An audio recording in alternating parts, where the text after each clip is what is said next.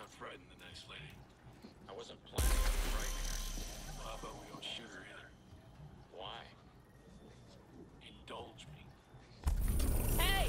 If you're headed this way, you might want to take a detour. What's that, darling?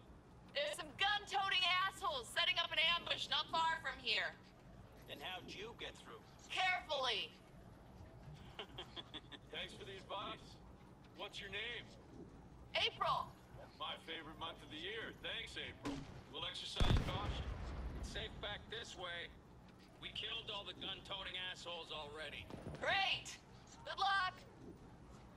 You take care now, April. See? She was nice. She saw us. So what? We're just a couple of guys that didn't try to kill her. Nothing especially remarkable about that. If you say so. Let's go murder those gun-toting assholes she mentioned.